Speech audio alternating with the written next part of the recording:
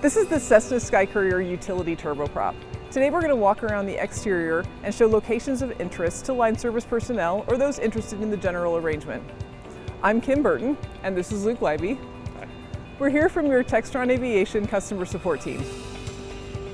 Before we begin, I'd like to remind you that this video is for reference only and it does not contain instructions for continued airworthiness.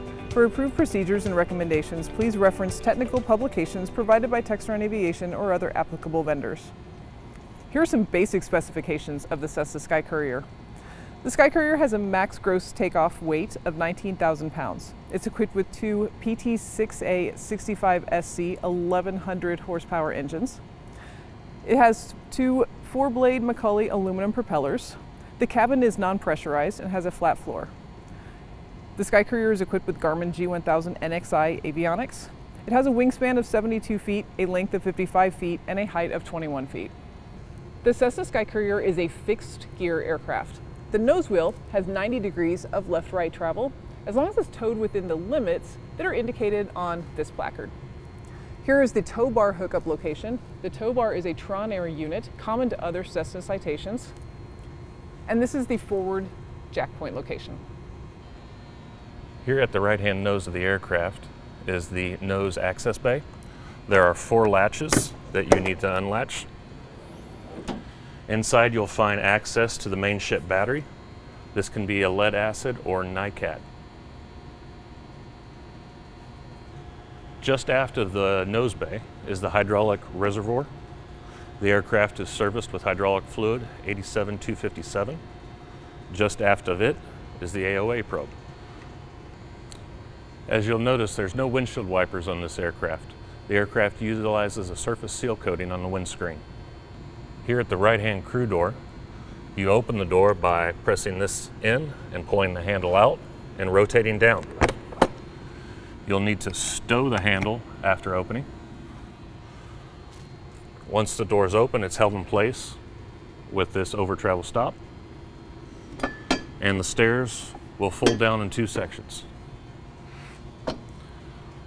On the forward and aft side of the cabin door are handholds for climbing in and out of the aircraft. To close the door, fold the step up,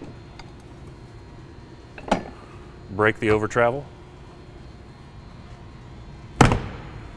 and shut.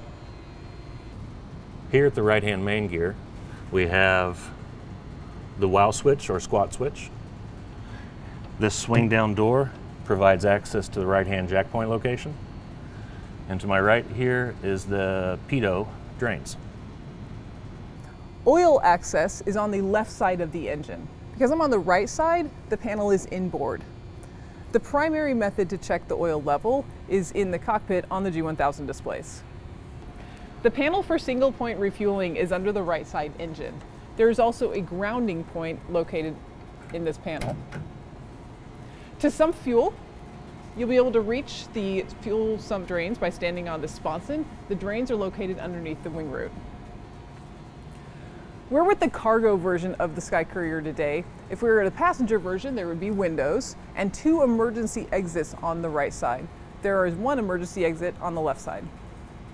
Here at the tail of the airplane, there is rear bay access, a point for the tail stand, and a tie down point for mooring the airplane. Here at the aft end of the aircraft on the left hand side is the cargo door. To open, press in and pull the handle down.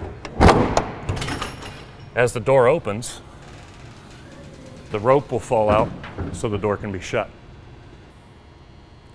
Here at the cargo door opening, the width of the cargo door is 87 inches. The height is 69. On the aft side of the cargo door, just inside the door, is the tail stand location. It's part of loose equipment with the aircraft. On the forward side, just forward of the door, is the light switch for the cabin lights. Here on the left side nose of the aircraft is the GPU access door. The door is spring loaded. There are no latches to keep it stowed. Spring tension holds it closed. The left-hand nose door Opens up again with the four latches. Inside you'll find the oxygen fill access. One gauge indicates one O2 bottle, two gauges indicate two O2 bottles. On the aft side of this uh, door opening are two light switches. The top light switch is the switch for the baggage lighting. The lower switch is the ground ops light.